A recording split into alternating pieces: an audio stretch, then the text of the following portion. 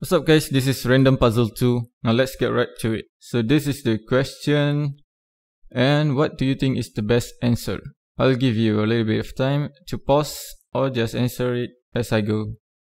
Now as we look into this question, your answer might be 1 plus 4 equals to 5.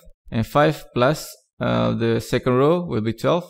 And the answer on the second row will be the answer, uh, plus the question on the third row will become this answer and goes on like this. Okay, so your answer might be 40. Is that right? Is it the best answer? Let's see. So we have 1 plus 4, 2 plus 5, 3 plus 6. But if we see that there's something like skipping the numbers here from 3 to 8.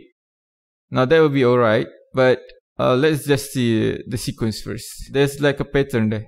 Plus 8 plus 11 but you'll get a different answer. You won't get 40. And a different formula to answer this question is using this. So if you apply this formula where this is x and this is y and this is z, x plus x times y, 8 plus 88 equals to 96. That's the best answer.